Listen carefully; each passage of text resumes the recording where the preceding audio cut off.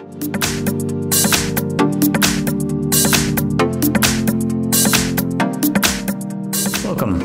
of me is a Nokia 8.1 and today I will show you how to perform hard reset in order to remove screen lock. So as you can see right now I have a screen lock here. So assuming we don't know the passcode to it, can perform a hard reset and begin by powering off the phone. So hold the power key and select power off.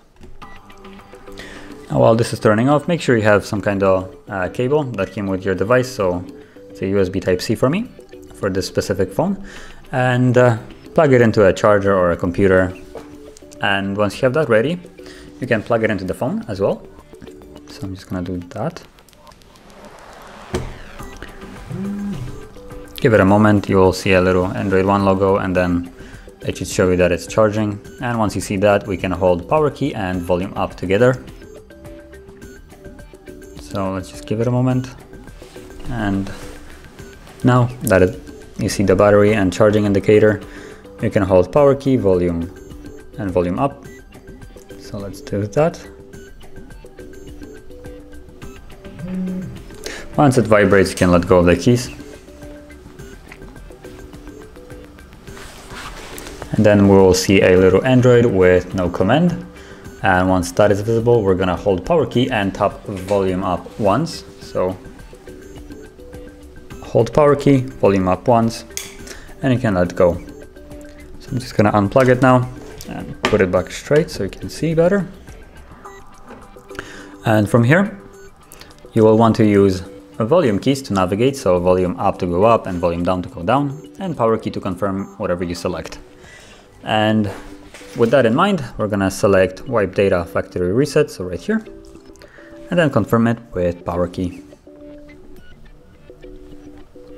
And once more, confirm it by selecting yes and continue. And you will get a little message wiping data. Data wipe complete, as you can see on the bottom right here. So once this is finished, you can just select reboot system now, which should be selected actually by default, and just tap on power key to confirm it. Okay.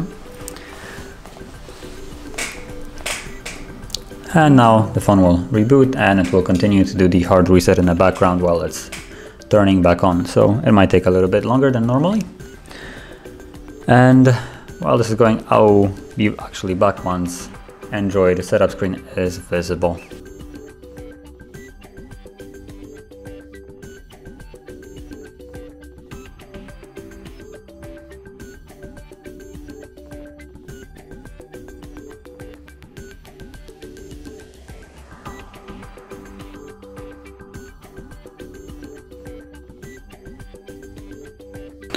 And as you can see now the process has been finished and you can set up your device as you like.